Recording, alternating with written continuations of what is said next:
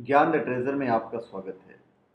और हम आपको बताएँगे एक ऐसे मंदिर के बारे में, एक मंदिर नहीं, मैं ऐसे मंदिरों के बारे में बताऊँगा जिनमें पुरुषों को जाने की अनुमति नहीं है।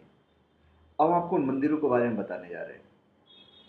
आपने भारत में कई मंदिर देखे होंगे, लेकिन आज मैं आपको ऐसे मंदिरों के बारे में बता रहा हूँ, जहाँ पुरुषों को जाने को परमिशन नहीं है।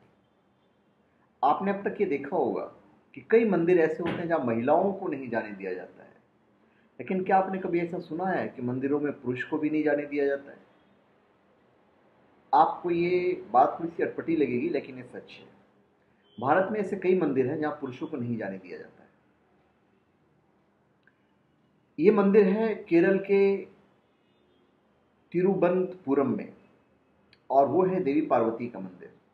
इस मंदिर में लाखों की संख्या में महिलाएँ दर्शन करने के लिए आती हैं। इस मंदिर को नारी समर मिला के नाम से जाना जाता है।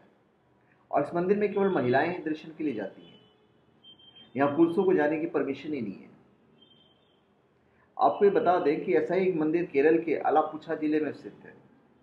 वहाँ हर साल पोंगल का त्यौहार मनाया जाता है और इस त्यौहार का आनंद लेने के लिए इसमें हज़ारों महिलाएँ भाग लेती हैं। यहाँ ये त्यौहार एक हफ़्ते तक चलता है। इस त्यौहार की नारी पूजा के नाम से भी जानते हैं। इस दौरान इस मंदिर में भी पुरुषों को जाने की परमिशन नहीं है। ऐसा ही तीसरा मंदिर है तमिलनाडु के तमिलनाडु में। इस मंदिर का नाम है देवी कन्याकुमारी। ये मंदिर इक्यावन शक्तिपीठों में से एक है। यहाँ देवी भगवती के इस स्वरूप को संन्यास की देवी के रूप में जाना जाता है। यही कारण है कि इस मंदिर के गर्भगृह में विवाहित पुरुषों को अंदर जाना सख्त मना है।